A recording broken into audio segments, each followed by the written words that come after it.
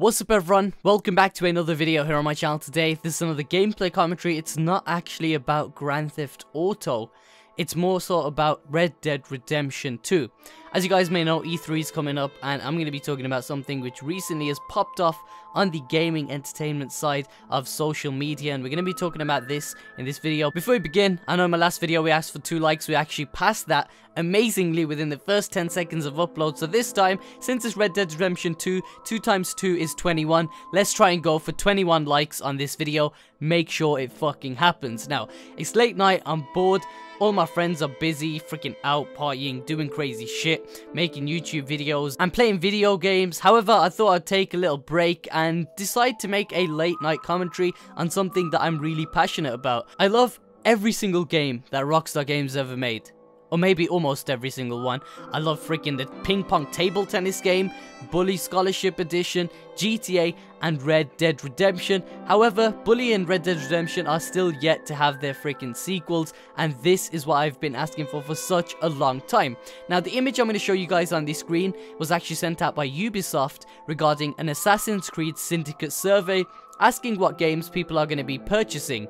Red Dead Redemption 2 is actually on the list. Now with E3 really really close, a bunch of YouTubers are going to be flying out. Me personally, I'm only going to go to the gaming events in the UK this year, however next year I am planning on going to it, but that's a really really long time away, so we'll talk about that later. Rockstar Games is going to be at E3 and shit is going to be popping off. As you guys can see, it says which one of the following games are you planning to purchase? Select up to 5 items that are most important for you. We have a new Elder Scroll, they listed Skyrim too, which we haven't really heard anything about, and personally that would be sick because I also love the Skyrim game. Now we got back Batman Arkham Knight, we got Black Ops 3, which is going to be sick, Halo 5, Just Cause 3, Mad Max, Metal Gear Solid 5, Mortal Kombat, all this sort of shiz, Rainbow Six, and right at the bottom, sneaky beaky like, they says Red Dead Redemption 2. Now, not sure whether or not they're confirming anything. You know, keep in mind, Ubisoft is a completely different game development team to Rockstar Games, and I don't think they've ever worked together, and the reason why they're listing it could be completely different.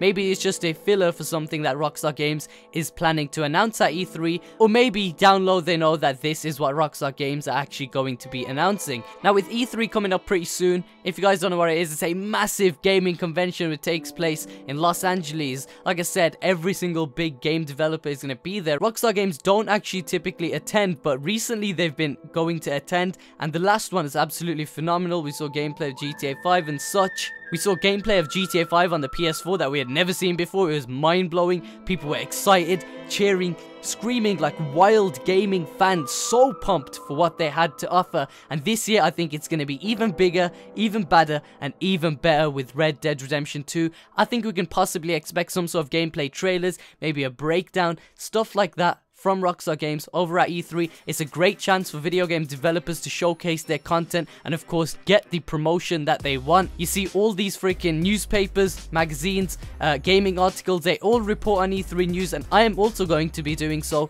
right here on my YouTube channel. So if there is any information about this or any other games listed on the screen, I will be sure to keep you guys updated. All you need to do is subscribe to my YouTube channel. Let me know in the comment section, would you like to see a sequel for Red Dead Redemption? I think anyone with a sane mind would definitely definitely say yes and give this video a thumbs up. You guys are absolutely amazing, so stay amazing and peace out.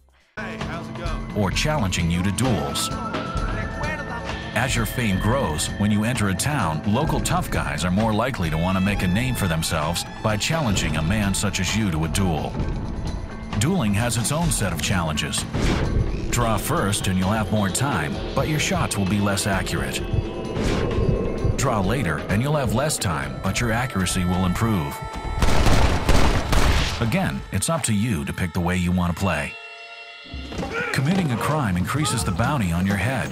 However, strategic use of a bandana will prevent others from recognizing you and ensure your wanted meter goes down faster. Players can never let their guard down. A seemingly innocent encounter can turn deadly when you least expect it. Life in the West was unforgiving violence was a constant presence. From intervening in a roadside execution, to chasing down a stolen wagon, to becoming embroiled in a deadly gunfight.